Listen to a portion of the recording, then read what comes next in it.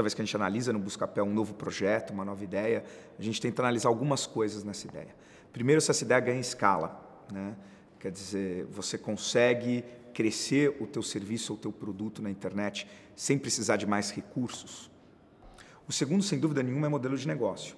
Aquela época do começo da internet, de você falar, olha, vou fazer um serviço muito legal, todo mundo vai usar, e depois eu penso como ganhar dinheiro, não existe mais.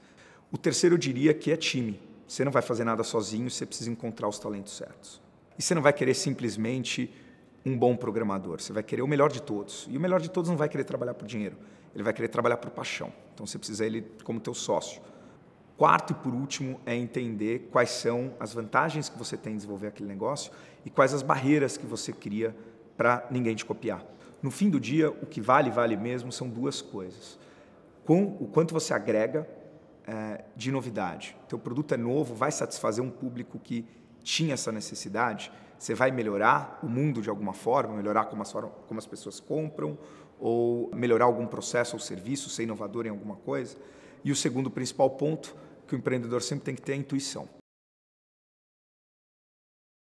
E eu acho que uma das belezas da internet é a facilidade com que você pode testar, falhar e aprender e corrigir.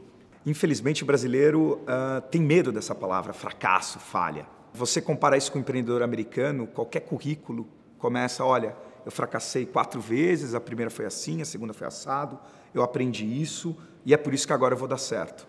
E na internet, você tem que aproveitar isso, você tem que ter uma cultura de fracasso, uma cultura de falha, ou seja, você tem que fazer com que o teu time teste cada vez mais, aprenda e corrija.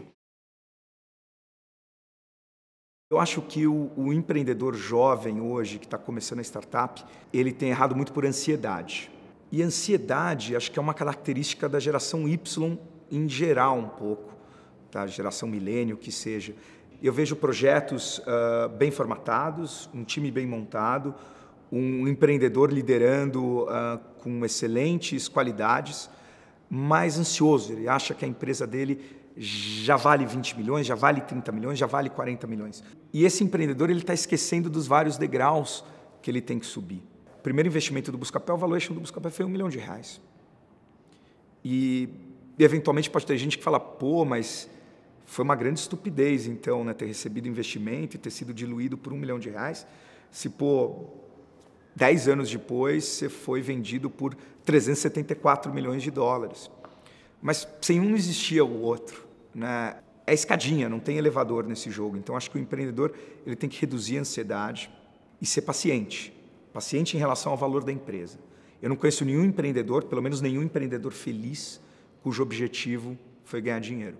Eu acho que uma das belezas de empreender é que quando você é bem sucedido, talvez você tenha como consequência e não objetivo ganhar dinheiro.